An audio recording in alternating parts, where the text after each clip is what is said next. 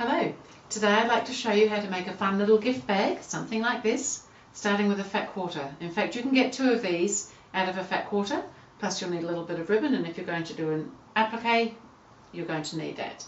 And how delicious is it going to look when it comes to that time of year when everyone has to have gifts, to have a little gift wrapped so beautifully in something like that. So I'll just show you how we're going to achieve this. So you're going to start with something, well you don't have to start with a fat quarter of course, however you can get two out of a fat quarter. So a fat quarter is going to be almost square, something like that, and we're going to cut that in half. So if you fold it so that the selvage goes to the raw edge and then cut that in half or approximately in half, probably cut it at about eight and a half inches wide and the full strip, then you're going to get two of those out of a fat quarter. So that's what this piece here is. I've already cut my fat quarter in half. We're going to make a little bag that looks a little bit like this one. So I had a fat quarter, I cut it in half. This white bit is my selvage. I cut it so that it was about eight and a half inches wide, just the full width of that uh, fat quarter. I didn't alter the length. And then we're going to very simply press in those ends just to hem it nicely. So I've actually already pressed that end. I haven't pressed this end. So we want to turn over approximately half an inch, press that down, and then another half an inch, and we're just going to hem that just with a straight stitch on the sewing machine. So I'll quickly do that so that we can keep going. So these are quite quick to make. They're fun. Quite often we've got a fabric fat quarter that perhaps we don't need for what we thought we needed it for in the first place. Sometimes we might get one specially because it's got a particular theme going to it. There's any number of reasons. Or it might not be fat quarters, it might be some other leftover fabric from some other delicious project. So I'll quickly hem both ends of this. I've just left my selvage on and turned it in. Uh, we're not expecting this to have any heavy wear and tear on it.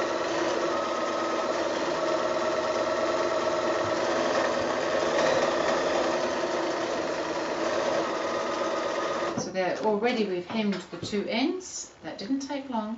This is quick. You could make a whole stack of these so that you're ready for any occasion.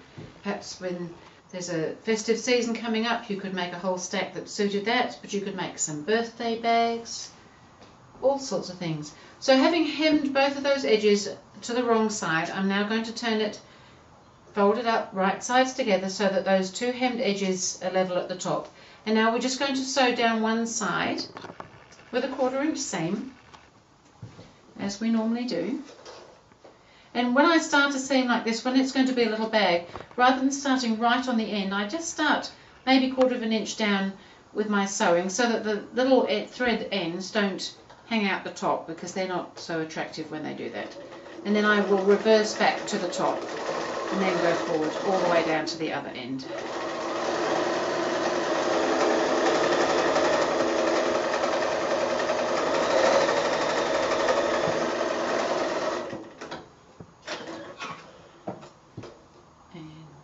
By popping those that starting point just down a little bit, I don't have those little ends. Sometimes you get just a little bit sticking up at the seam. So now we've done one seam and now we need a piece of ribbon. So the piece of ribbon is about 24 inches long that I've cut.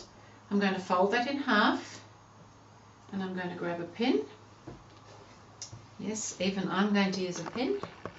And I'm going to position that maybe a couple of inches or so down from that top edge. On the raw edge, the fold of the ribbon, pop a pin there just to hold it in place so that when we stitch this seam, we take in that folded edge.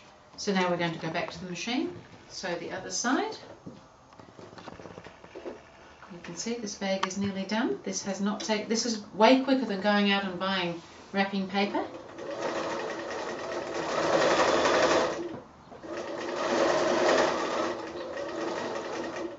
Stitch straight over that ribbon edge all the way down.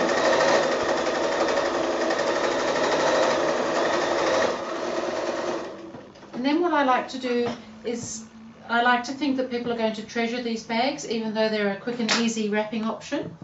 So I'm now going to select a zigzag stitch on my sewing machine and I'm going to zigzag oops, we're going to zigzag over those raw edges of the bag so that it's all enclosed inside and it won't fray and then the bag can be used for all sorts of things later on because it's going to be treasured by the recipient. So again I start a little bit down from the top, back stitch up and then I zigzag so that you're overcasting right over the raw edges of your fabric.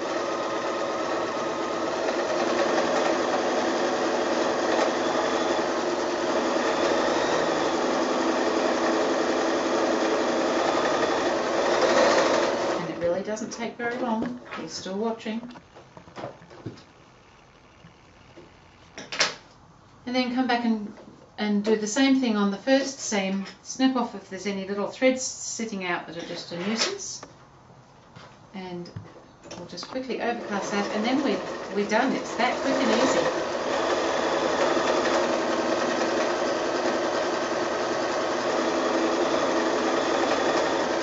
So this is a fairly open zigzag. It doesn't need to be a closed up tight one.